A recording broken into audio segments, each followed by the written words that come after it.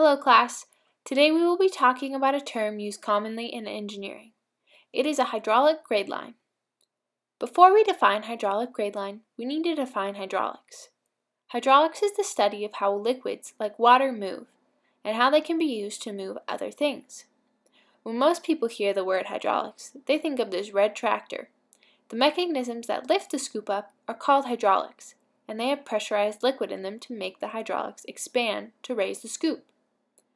Another example of water moving in the, is in the ocean or a river. Hydraulics is used in both these cases to describe how liquids move. Based on our new knowledge of hydraulics, a hydraulic grade line is a graph of how a liquid, usually water, moves from one point to another, such as from the top of a mountain to the surface of a lake. The dark arrow in the middle of the page points to the hydraulic grade line. A rain gutter is a perfect example of what a hydraulic grade line can look like. When it rains, water hits the roof of a building and flows downwards into the rain gutter. Water can move back and forth inside the gutter, but the hydraulic grade line is the straight path along the rain gutter that the water travels under regular pressure. The blue arrow on the gutter shows that this hydraulic grade line follows the path of the water. These aqueducts are similar to a hydraulic grade line.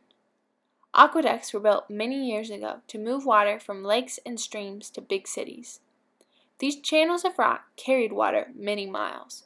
The hydraulic grade line of these aqueducts, aqueducts would also be a straight line along the path of the water. Hydraulic grade lines are graphs that describe how liquids move from one point to another. They can be above the earth or beneath the earth. Hydraulic grade lines are used in many cases and combined with many other ideas. I hope you all better understand what a hydraulic grade line is. Thank you for listening.